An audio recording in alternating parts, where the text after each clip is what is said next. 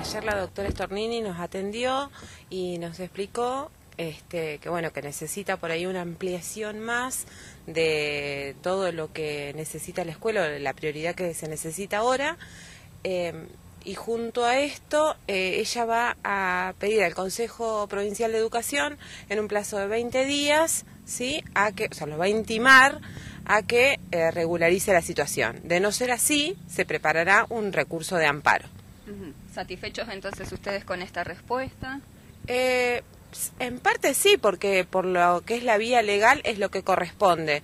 No así eh, con lo que nosotros estamos pidiendo desde hace ya mucho tiempo.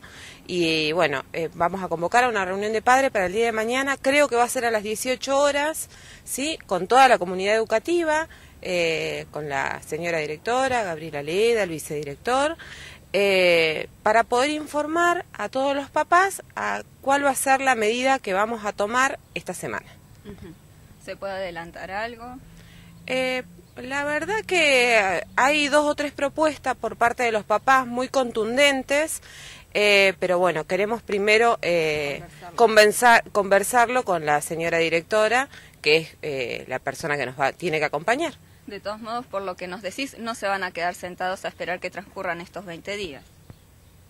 no, sentados en la casa no.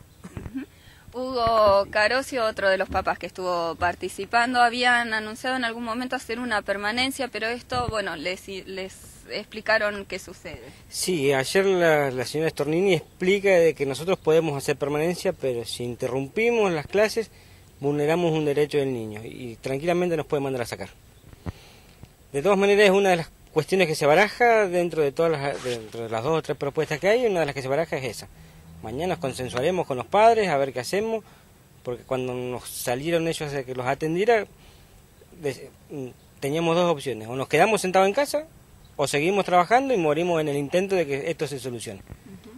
Los que estábamos ahí decidimos la última. Vamos a hacer hasta lo último para que esto se solucione. Nos decía Mariela que les han solicitado una ampliación del informe que ustedes presentaron. De todos modos, nosotros veíamos la cantidad de copias que ustedes anexaban a, la presentación. ¿Qué es lo que falta? Yo creo que ahí está todo detallado. Faltará que Gabriela ahora amplíe con la reparación que hicieron y que no dio resultado. Es lo, lo único que queda es eso, porque ya después de lo demás Gabriela ha hecho de todo. Y bueno, si no, haremos un recurso amparo, por más que esto lleve un patrocinio y lleve un costo lo, lo haremos y veremos cómo lo solventamos, pero la idea es seguir hasta, hasta lo último.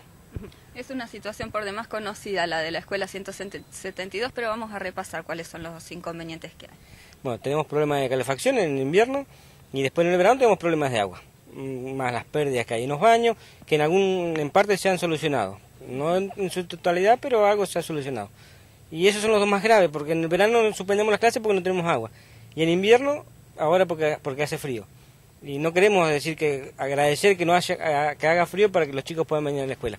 No es la idea, porque también pierden de esa manera.